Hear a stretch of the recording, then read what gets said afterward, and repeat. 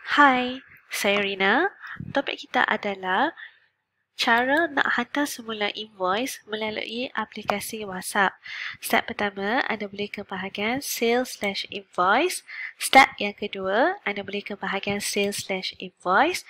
Step yang ketiga, anda boleh search by invoice number. Sebagai contoh, 900116 dan klik button enter.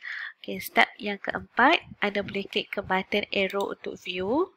Step yang kelima, anda boleh scroll dan klik kepada button WhatsApp untuk send melalui WhatsApp.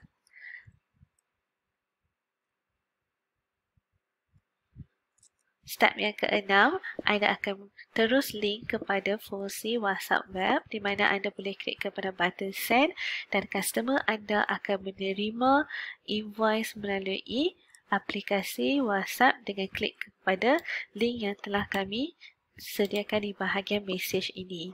Harap video ini membantu. Sekian, terima kasih.